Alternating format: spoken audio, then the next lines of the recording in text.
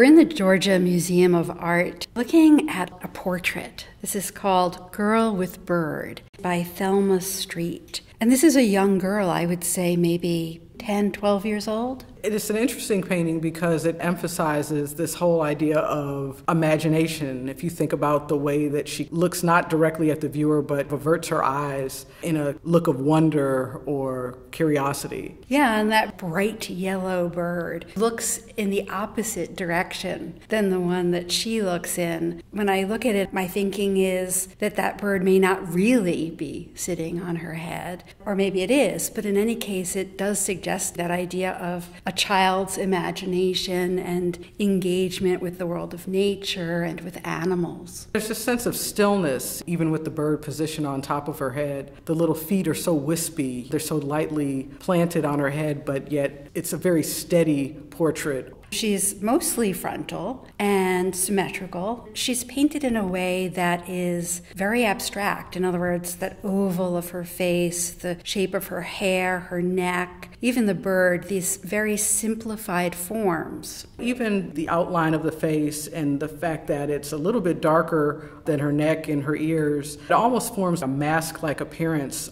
the way that it's painted without any shading from light to dark makes it also appear very flat and adds to that sense of it being like a mask. Streat was a dancer, but also a painter. She worked under Diego Rivera for a while with a few of his projects, actually, a mural that he did for the Pan American Unity Project. And so we're looking at this period in art history, although this dates from 1950, the 30s, and the 40s, when artists were very intentionally engaging in the idea of art for the public, art for the people, and Streat working with Rivera on murals, but also painting her own murals. She was really interested in people. In fact, one could also call her a type of anthropologist. She loved studying different cultures, whether it be African cultures, Polynesian, Native American. She was very interested in cultures, but also this sense of universality. This idea, I think, that was important to her to work through her art to eradicate racism and bigoted ideas